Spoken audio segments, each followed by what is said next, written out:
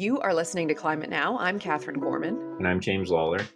So, there's been a lot of buzz lately around this idea of net zero, from company sustainability plans to government policies. But what does that even mean? And is it even achievable? Yeah, I mean, these carbon sort of net zero, carbon neutral terms are getting thrown around more and more, and they look very flashy. They look very attractive. I mean, who wouldn't want it? Yeah, absolutely. Like, I'll, I'll take two, please. Great.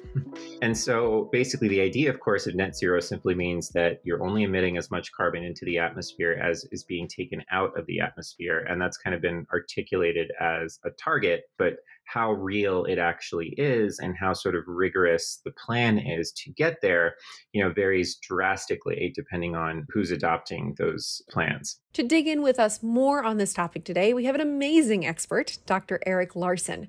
He's a senior research engineer in the Andlinger Center for Energy and the Environment at Princeton University, and he's one of the authors of the Net Zero America report that describes how the U.S. can reach net zero as a society by 2050. Dr. Larson, thank you so much for joining us. Pleasure. So the report is a whopping 345 pages, but it's not it's not like other scientific reports or or um, academic papers. This is sort of more set up kind of like a PowerPoint with lots of graphs and images and detailed infographics. Walk us through it. Yeah, there's there's been a lot of studies out there to try to sort of paint pathways to net zero or to low carbon in any case but we felt what was missing is is sort of a real visceral picture of what it actually means to get to net zero emissions. Uh, the models tend to be done at a fairly high level, a little bit abstract, and so we decided to do modeling that would really paint a much more vivid picture to try to understand what the both what the opportunities but as well what the challenges are to actually getting to net zero and you articulate in the report this is i think a more or less a direct quote from the report despite growing government and corporate net zero by 2050 pledges there's little detail on execution costs and impacts.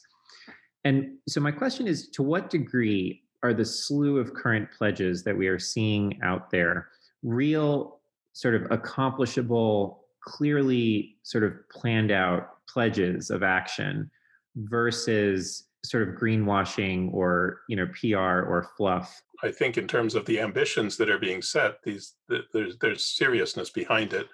On the other hand, I think many of the entities that are making these pledges really don't have an idea of how they're going to how they're going to get there. And what our report does in a in a sense is to illustrate what are the actual steps that you would need to take in order to execute on on the ambition. So how did you determine these steps? What's the methodology that you used? The basic approach was to start with energy service demand projections that are sort of official projections of where where we expect to go as a country. And so energy service demands means things like vehicle miles traveled, square footage in buildings that's that's heated and cooled, you know tons of steel that we make and uh, other industrial outputs.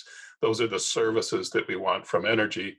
And then we said how are we going to meet those demands? And we set up our modeling to to be able to meet those demands. But it's a model that based on meeting the service demands it optimizes the mix of technologies that are available to the model. It minimizes the cost of the overall energy system over the whole transition and so the model really focuses on three different variables, right? Electrification, renewable energy, and biomass? What we did was to look across several parameters in the energy system that that we sort of understand to be critical in any kind of a transition.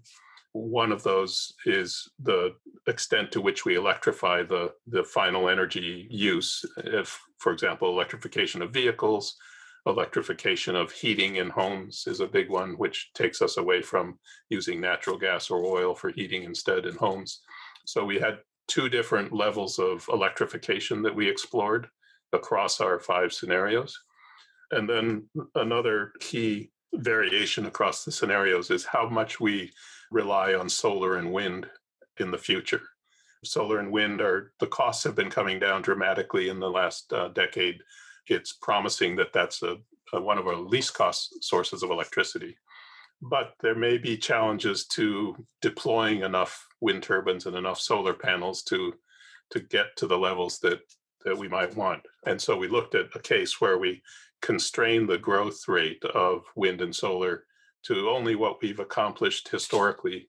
So that was kind of a lower bound on the renewable side. And then on the upper side, we basically required the model to get to 100% renewable energy by 2050. And then the, the last variable that we played with was the amount of biomass that we allow in the energy system. And biomass is a is critical in our scenarios because it's a source of carbon that comes as a result of growing plant matter and that takes CO2 out of the atmosphere. And so when we use that plant matter for energy and put that carbon back into the atmosphere, we have a carbon neutral system, right? And and that carbon is very important in making fuels, which even though we do a lot of electrification in the in these net zero futures, we still need some fuels for things like airplane fuel and and others. And so we explored the idea of two different scenarios for biomass. One was where we said we don't want to impose any let change in the land use from what it is today, because there are concerns about converting cropland into energy crops from food to, to fuel. And then in the high case, we allowed, there's been a big study that's been done and, and uh, updated every few years by the Department of Energy and the Department of Agriculture, exploring what the maximum potential for bioenergy, for biomass production might be for energy. And so in the high case, we adopted that range of bioenergy supply, and that includes it does include some conversion of crop food cropland and pasture to energy crops. And then, so in the report, you use the model to explore five different pathways to get us to net zero by 2050. There's high electrification and low electrification pathways. So that's two E plus and E minus. E plus is high electrification and E minus is low electrification. And then in the case with renewables, we we adopted the high electrification on the demand side, the E plus, and then we we had an E plus RE minus, which represents the constrained renewable growth, and then an E plus RE plus, which represents the 100% renewable by 2050. And those again both use the constrained biomass supply. And then the, the fifth scenario was the case where we we looked at the the E minus demand side, which is a less electrification of, of vehicles, which you would anticipate more demand for fuels.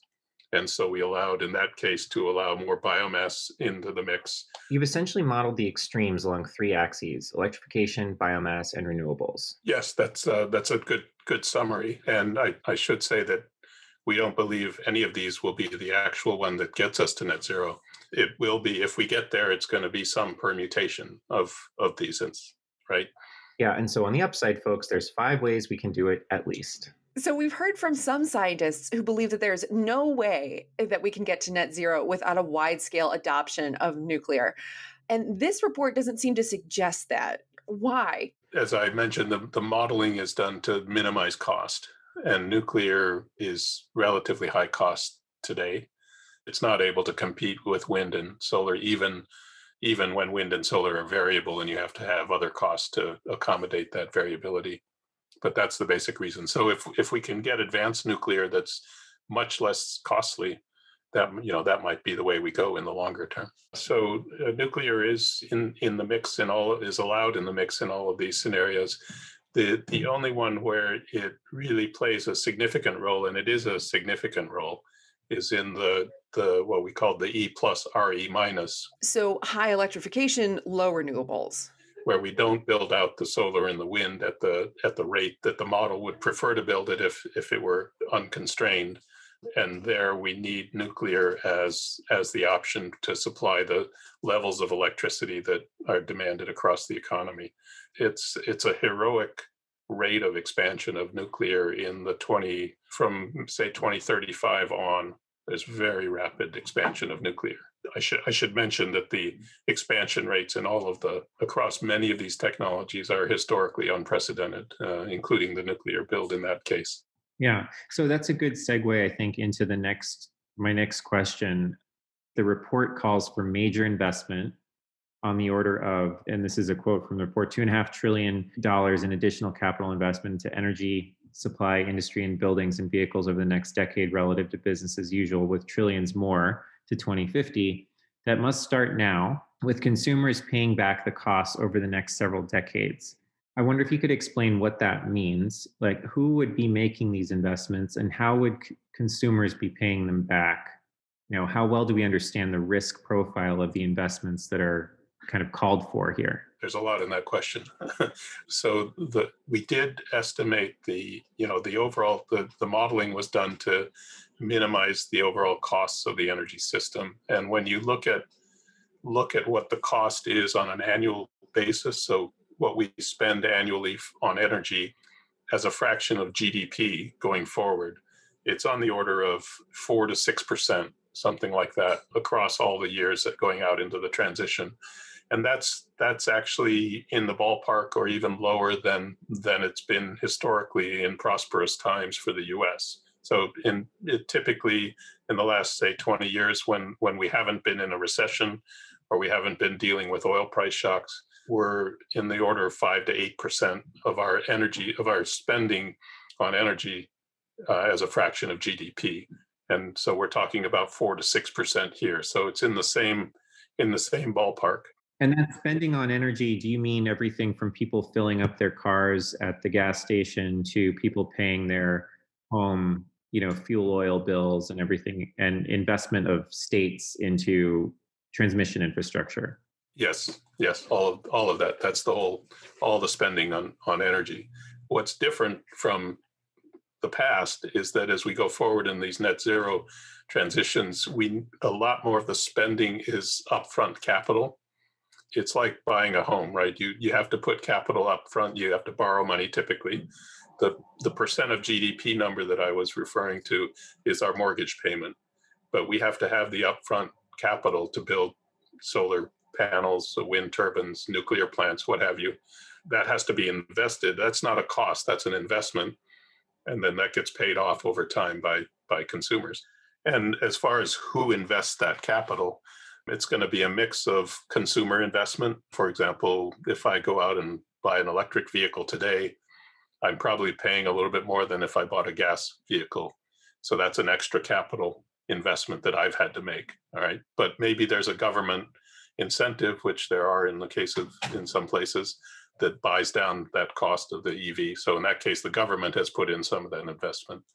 And our estimate of that of that 2.5 billion trillion, sorry, uh, big numbers, that represents maybe a 5% increase for the consumer in terms of consumer spending. So in particular electric vehicles in homes heat pumps are the the technology that would electrify heating in a home, and that has an extra cost associated with. So five percent, five to ten percent higher cost for the consumer if there aren't uh, incentives provided by the government.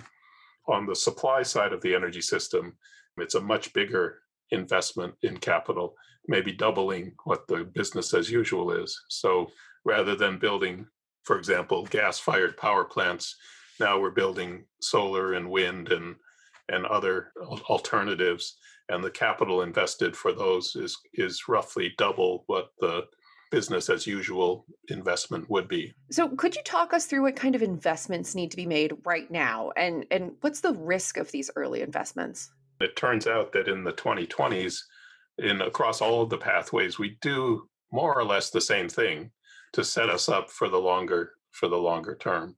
Mm. Things that are done in the 2020s are going to can be done with fairly high degree of confidence that they're going to return value in the longer term. So in terms of a risk profile that you're talking about, I think the investments in the 2020s are, with some exceptions that I'll mention, are pretty you know uh, solid investments that should be made. Great, a high reward, low risk. I mean, where do I put my money? so that includes going to electric electric vehicles, it includes uh, solar and wind build out at a, at, at a very rapid rate. A second category in the 20s is the idea of setting up enabling infrastructure to give us the options for even greater growth in the 2030s and 2040s. So that's, for example, uh, increasing, enlarging our electric grid so that we can add all of this solar and wind and and more beyond in in, in the in the next decade. CO2 transport and storage systems are a critical part of all of our scenarios. Even the case where we go to 100% renewables by 2050, even in that scenario, we actually have to do CO2 capture in order to have carbon available to be converted back into uh, hydrocarbon fuels that we that we still need by building the infrastructure for CO2 transport and storage in the 2020s that then sets us up to do lots of CO2 capture that will be needed in the 2030s and beyond. So does that exist today, CO2 transport or is that a new idea? We do have a CO2 pipeline system in the US today, which many people aren't aware of. Something like 8 8,000 kilometers or you know 5,000 miles worth of of CO2 pipelines, and these are are generally what they're doing is is taking CO2 out of natural formations. It's, so there are pockets of CO2 in the subsurface that are pure CO2. They're actually mining the CO2, putting them in the pipeline and shipping it down into particularly the Permian Basin in, in West Texas and injecting it into oil wells to increase the production of oil. And over time, the CO2 ends up essentially staying below ground. So it's not it's not going back to the atmosphere, but it's being used specifically to, to help produce oil today. So we have we have experience, and the oil and gas companies are quite familiar with with shipping of CO2 around. So, okay, so what's the last category of investment in the 20s, the high risk category? The last category is the one where there is a bit more risk involved, but it's a it's a fairly small part of that 2.5 trillion. It's something like 130 or 150 billion. And that's investing to create options for the longer term, for the 2030s and 40s. So that means investing in technologies that we basically understand the engineering of today, but they're not at the scale that we could begin or or maturity that we could go out and start building them in in large quantity that's things like advanced nuclear technologies or biomass gasification to make hydrogen which turns out to be an important technology in our in the 2030s and 40s or electrolysis to make uh, hydrogen by splitting water using electricity from solar or wind. These are technologies that we we basically understand today, but need to be demonstrated at a fairly substantial scale and with multiple demonstrations to, to gain confidence so that when we get to 2030 and realize, oh, this path that we thought we were on it's not going to mm-hmm. work. We we need another option. So that's the idea of option option creation is the other pocket of, of investment in the 2020s and what percentage is that of the 2.5 trillion or is that? It's it's small. It's 150 billion out of two and a half trillion. So jeff bezos could do all of that. Sure. Yeah and and and bill gates is is working on some of it i think. I mean he's he's got some investments in nuclear for example